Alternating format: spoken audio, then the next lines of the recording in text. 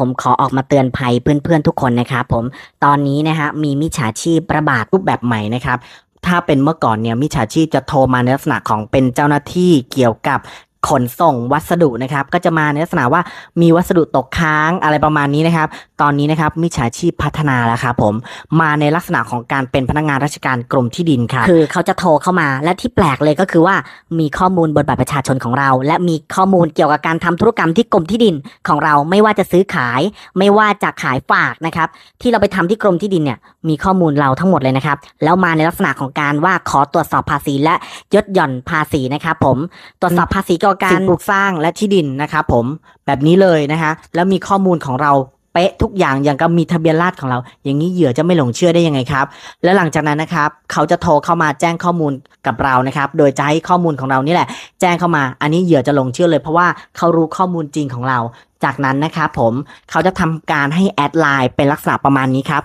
ลาย EQ Land แต่สังเกตนะครับเป็นลายส่วนตัวครับ ซึ่งกรมที่ดินเนี่ยไม่มีการแอดลายส่วนตัวนะครับ ส่วนใหญ่จะเป็นลาย OA หรือลาย Official นะครับผม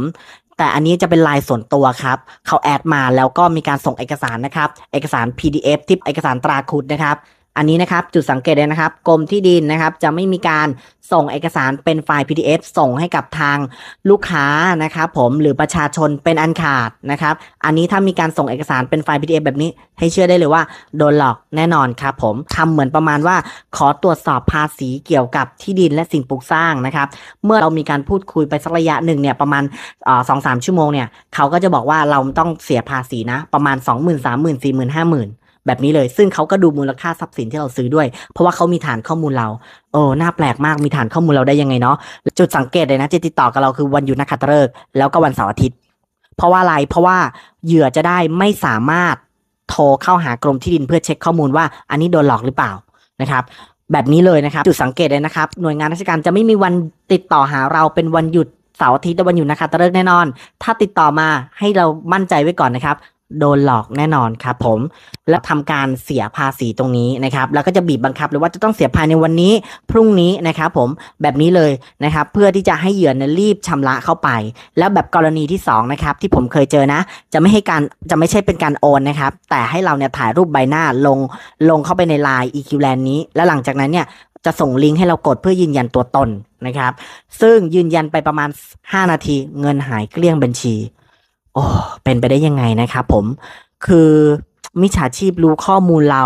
มีฐานข้อมูลของเรานะฮะก็คือ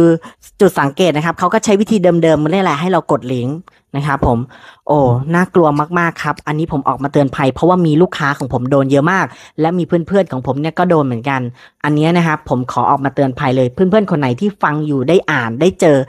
คลิปนี้นะครับผมขอให้มีการแชร์ไว้นะครับ เพื่อเป็นประโยชน์แก่คนอื่นด้วยนะครับสำหรับวันนี้นะครับผมผมขอ ตัวลาไปก่อนนะครับผม บ๊ายบาย